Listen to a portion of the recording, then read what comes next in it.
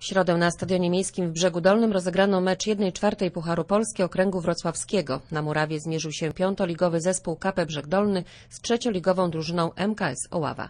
Spotkanie było bardzo wyrównane. Bramki padły dopiero w końcówce drugiej połowy i w doliczonym czasie gry.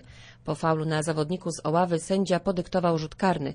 Jedenastkę pewnie na bramkę zamienił Michał Sikorski. W kolejnych minutach w doliczonym czasie wynik na 0 do 2 podwyższył Dominik Wejerowski. No się cieszymy, że e, wynik rozstrzygnął się w 90 minutach, bo e, już w sobotę czeka nas e, trudny mecz ligowy, a e, tutaj jest zwycięstwo kolejne e, gdzieś na wyjeździe i czekamy co, że tak powiem, przyniesie los. Pomimo porażki trener Dolnobrzeżan Jerzy Szaliński dostrzega w grze zespołu drobną poprawę. nie idzie w lidze, nie idzie w pucharze. Chociaż dzisiaj ten mecz inaczej wyglądał, było widać, że ci chłopcy dali siebie wszystko. Taką nagrodą był ten remis. Myślałem, że dotrzymają do dogrywki. Rzut karny w 89 minucie. Przegrana.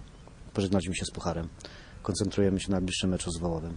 Jak przyznaje szkoleniowiec, drużyna przygotowuje się do kolejnego meczu ligowego i czeka na powrót kontuzjowanych zawodników. No, nasze przygotowania wyglądają w ten sposób, że po prostu czekamy na tych chorych. Rehabilitacja, yy, treningi, które mają ich przywrócić do pełnej sprawności. Nie załamujemy się, nie, nie, nie składamy broni, wychodzimy z mocnym postanowieniem wygrania meczu. Już w najbliższą niedzielę KP Brzeg Dolny będzie miał okazję do rehabilitacji w najważniejszym dla kibiców meczu sezonu, czyli derbach powiatu wołowskiego.